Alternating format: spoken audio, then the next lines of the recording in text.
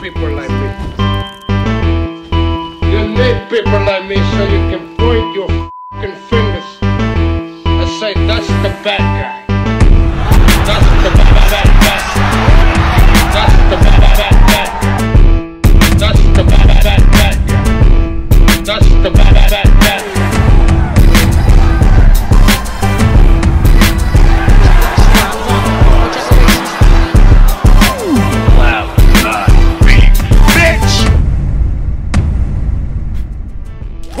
to the motherfucking relay. We're covering today's top boxing news.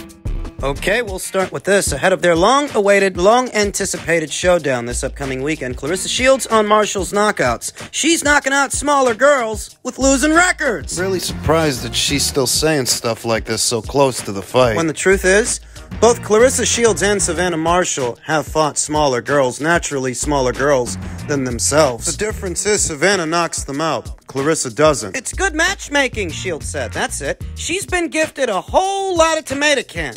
I guess her friend Hannah Rankin must be one of those tomato cans. It's a common opponent between them. And I mean, I'm not wrong. If I go to BoxRec and you read off her opponent's records, you're gonna see that. Okay, she knocked out this girl on three days' notice, but look at her record. She fought her on a week's notice. Look who she knocked out, you know? Look at this girl's record. Four wins and 25 losses. Her and April Hunter have similar opponents. How when April Hunter is a 140 pounder? Or is she 135? How does a 168 pounder and a 175 pounder have similar opponents with a 140 pounder? Well, it's the same way that you and a 147 pounder have similar opponents. Remember Ivana Habazin? Ivana Habazin is a common opponent between Cecilia Braekhus and Claressa Shields. When she fought Cecilia, it was down there at welterweight. When she fought Claressa, it was up there at junior middleweight. This is what I mean. I don't know what Claressa's doing. She's pretending she's never fought smaller girls before. She already has. On several occasions, Hanna Gabriels came up from junior middleweight to middleweight for the fight with Claressa. the bulk of Hanna's career was spent at junior middleweight. So when I see Claressa saying these things, I just ask myself, how could she still be saying stuff like this so close to the fight when the same things you're saying about Savannah can be said about you? With the difference being, you didn't stop any of those smaller fighters, did you? She did, along with one or two common opponents between you. just seems like she's talking because she's got a mouth. It seems like she's just saying shit to be saying shit. She says, I mean, there's somebody up on her record with an 11 and 67 record. 4 and 25, Shield said. Those are not opponents you knock out and say, oh, that was a tough fight. That was a hard knockout. It's like, no, her best knockout was against Hannah Rankin. And Hannah Rankin, it was a lot that played into that fight, and I'm not going to hold that because when I watched the film, it all made sense. So we're going to have to wait until the fight gets a little bit closer until we actually speak on it. You mean start making excuses for it. Start making excuses why she knocked out Hannah Rankin and you didn't. And are you going to do the same thing when it comes to Femke Hermans, yet another common opponent between you that she knocked out and you didn't? She also has a common opponent with Franchon Crews. Ashley Curry, who Savannah Marshall fought in 2019 and stopped in 2019. 2021, that same Ashley Curry shared the ring with the hard punching Franchon Cruz.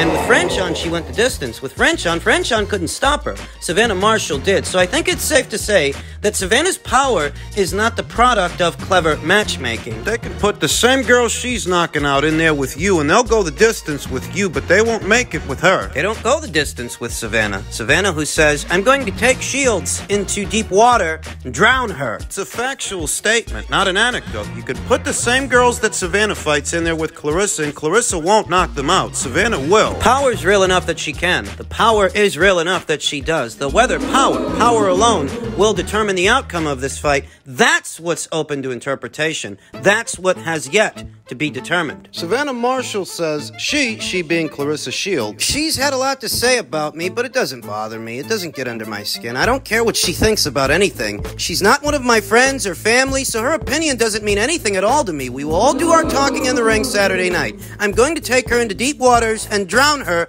in the Thames. If Claressa Shields' constant trash talk doesn't seem to make sense because because it also applies to her. That she's fought smaller fighters just like Savannah has. If it applies to Claressa the same way it applies to Savannah in an unflattering way for Claressa. Because Claressa didn't stop those smaller fighters, what exactly is she attempting to do? Is this a psychological attack? Is this her trying to sell a fight? What is this? I don't know, it seems like somebody who's in a hurry to say something, even if they have to grasp at straws to say it. What I'll say is that comparatively, Claressa Shields has a better resume and has fought some better fighters than the fighters you'll find on Savannah's resume, though that doesn't necessarily make them better than Savannah. I mean, if you ask me, Savannah wouldn't have just taken Nikki Adler's belt or Christina Hammer's belt or Marie Eve Dicaire's belt. If you ask me, not only would she have beat them the same way Claressa beat them, Savannah would have stopped them. Probably would have stopped Hanna Gabriels too. She's been stopped before by a naturally smaller woman than Claressa and Savannah. She was stopped by the Dominican Republic's own Oxandia Castillo down there at junior middleweight. When Claressa fought her, it was up there at middleweight.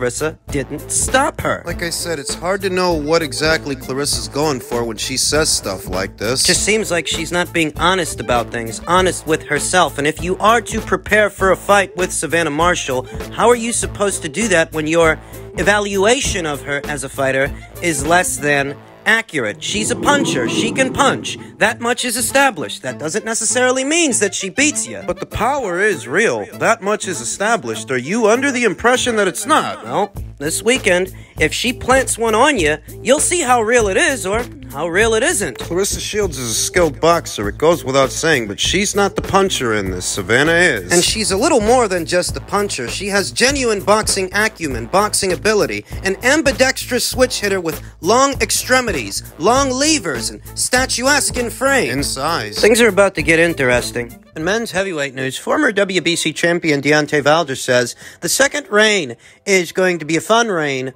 for me. WBC have already started their four man tournament. This past weekend's heavyweight contest between former champion Andy Ruiz and world title challenger Luis Ortiz kicked off that tournament. We all know who emerged the victor.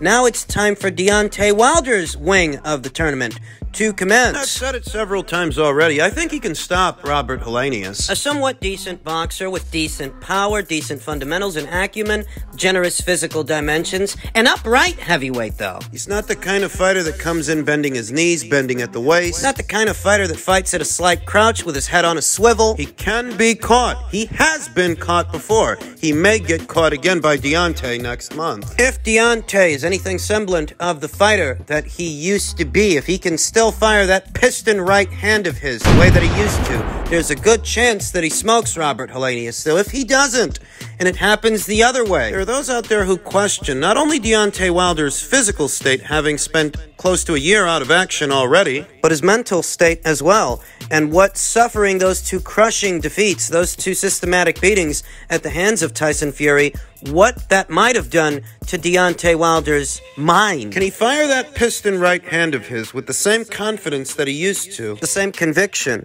Or have those two losses, those two beatings at the hands of Tyson Fury, rendered him a shadow of his former self, hesitant and unsure? I've said it many times here on the channel. I'm saying it here again. Some guys lose a fight and they rebound. Some guys, other guys, they don't. They're never the same. This is particularly true of punchers, big ones, that have a lot of confidence in their power and come to rely on it. Fighters like Deontay Wilder. It'd be a fucking disaster if Deontay Wilder loses that fight. It really would. A disaster for the PBC who so wished to resurrect the Bronze Bomber, resurrect his heavyweight career, his heavyweight reign, shooting for a second when it would be a disaster for them. as well as a disaster for him if he's reached a point to where he can't get past a guy like Robert Helenius. guy who's been beat before. Was decision by Dillian Whyte, stopped by Johann Duhaupas, common opponent between him and Deontay Wilder. He's also stopped by Gerald Washington, yet another common opponent between him and Deontay Wilder. And if Deontay Wilder's reached the point to where he can't get rid of a guy like this, he might as well pack it up, call it a career, and just retire. That's if he don't make it past this guy. because they're serving him up a guy who should be easy to knock out on a platter. Easy for Deontay, I mean, if he can return to being the fighter that he was. They've laid it all out for him. The WBC has left a clear path for Deontay Wilder to pick up the WBC title should it become vacant in the very near future. They've laid out that path for him. His handlers have conjured up an interesting enough opponent that can help him sell some pay per views. A little. I mean, those two beatings he put on Adam Kownacki, they did leave a lasting impression. Those were entertaining fights, entertaining fights whilst they lasted. They're putting Deontay Wilder in a very manageable situation with a guy against one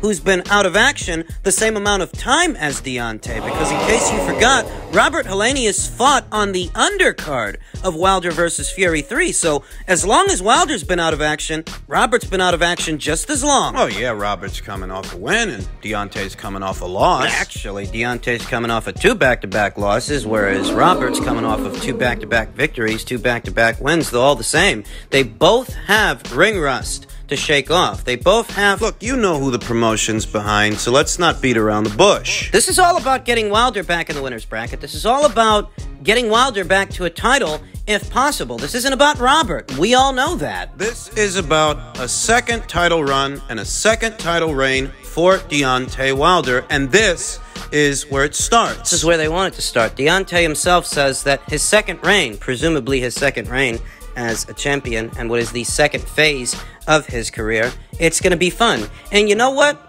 Might not be wrong, he might not be. If he beats Robert, we all know their aim, powers it be. They aim to put Deontay Wilder in the ring with Andy Ruiz. That's an interesting little fight, an interesting little affair. Beyond that, given the relationship that his longtime manager, Shelly Finkel, has with Frank Warren, possible matchups with either Joe Joyce or Daniel Dubois. I've talked about this and how those are genuine possibilities, transatlantic ones. Shelly Finkel and Frank Warren amongst themselves orchestrated the first Tyson Fury fight, you understand. They did that together. And now that Deontay Wilder's back, if he can make his way past Robert Helenius and also make his way past Andy Ruiz, what they might move to do beyond that is put their boys in there with each other. Transatlantic pay per views. Box office fights in America and box office fights in the UK. Because that is what Wilder versus Daniel Dubois would be, or Deontay Wilder versus Joe Joyce, given the world title situation potentially becoming immaterial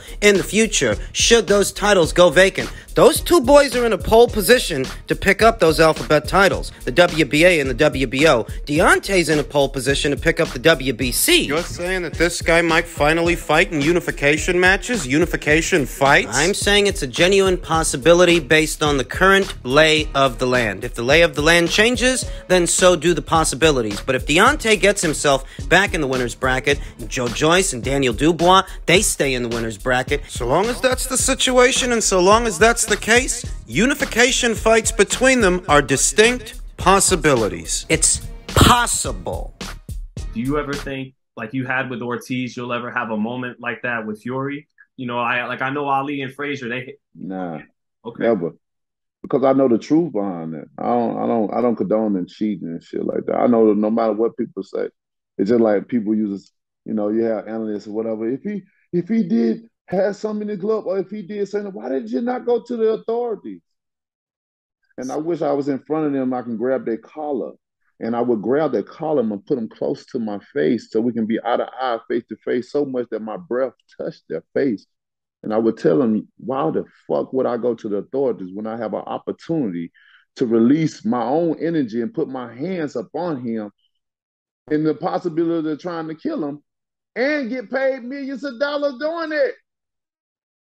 Gonna the authorities. Okay, go to the authorities. They lock them up. Then what, what's next? That's it. A good write up.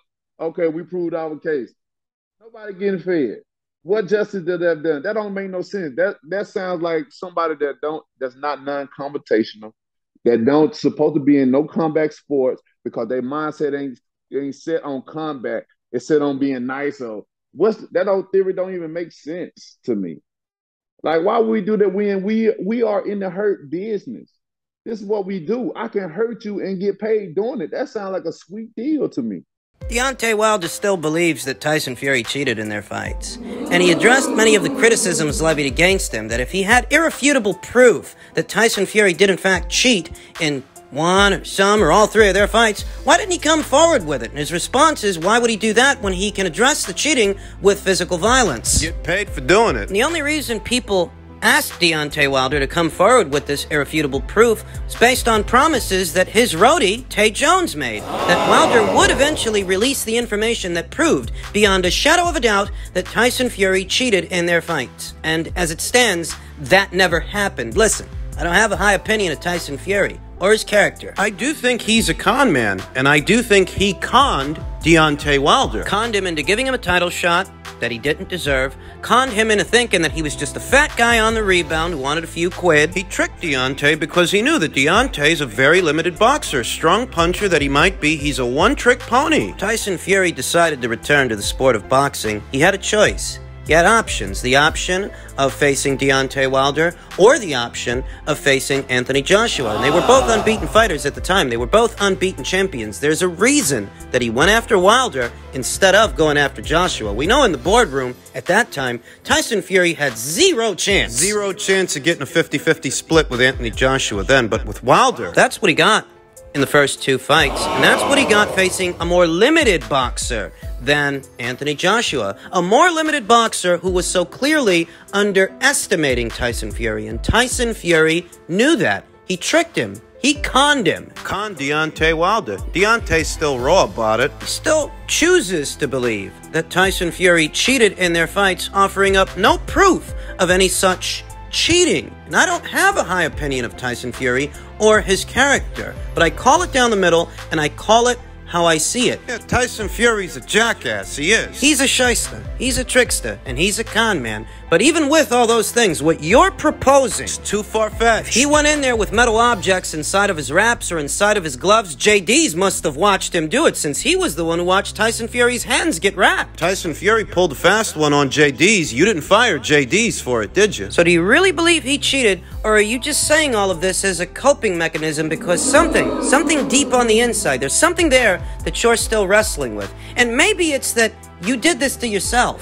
Whether you think Tyson Fury cheated, or you don't think he cheated, one way or another, you're the one that gave him the shot. You're the one that gave him that opportunity. And he, in effect, derailed your career, derailed your reign as WBC champion. You never had to fight that guy. And you weren't under orders to do it. You had options. But that's the one Deontay Wilder chose. Time and time again, Deontay Wilder was the architect for his own downfall. and underneath it all, that's what I think he's wrestling with. There are too many holes in this conspiracy theory for me to believe it, but even if Deontay believes it, guess what? What? The guy don't get the chance to cheat unless you give it to him, and you gave it to him. The whole Glovegate conspiracy theory reads like something out of a Wile E. Coyote cartoon. Tom and Jerry, you're saying that this guy stuffed Acme anvils in his gloves and neither the Nevada State Athletic Commission or your own trainer, Jay Deas, were hip to it? An egg shaped object. You want to know what that egg shaped object was? His knuckles against your face. On the off chance that Deontay Wilder's telling the truth and there was foul play at work. Even in that version of the story, you'd still be the one that set those events in motion.